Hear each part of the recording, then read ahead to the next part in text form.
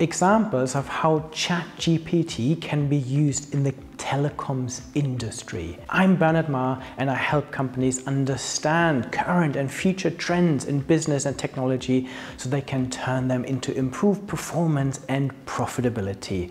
For more, subscribe to my YouTube channel and my podcast, check out the articles on my website and have a look at my latest books, Tech Trends in Practice, Business Trends in Practice and Future Skills. ChatGPT is this amazing AI tool that anyone can now use to generate text, answer questions, generate computer code, and much more.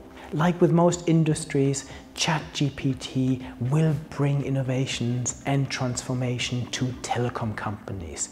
Of the many different ways it could be used, here are my top five.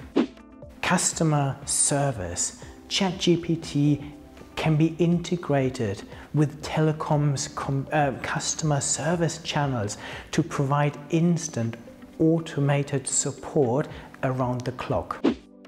Network management. ChatGPT can help with network monitoring and management by providing real-time insights and alerts to network administrators.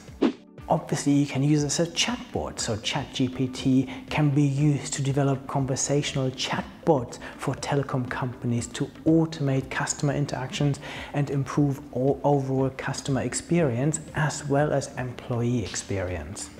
Sales and marketing.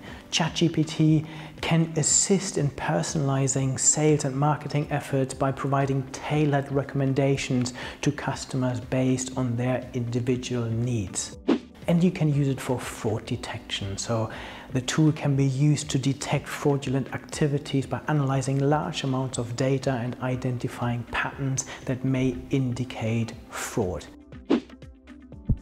Hopefully you can see that every telecom executive must really understand the capabilities of these advanced AI tools, as well as other disruptive tech innovations that come with it, and think about how they might change their own world and the opportunities and threats that this brings for their own business. If you want to stay on top of all of this, subscribe to my channel and connect with me on social media.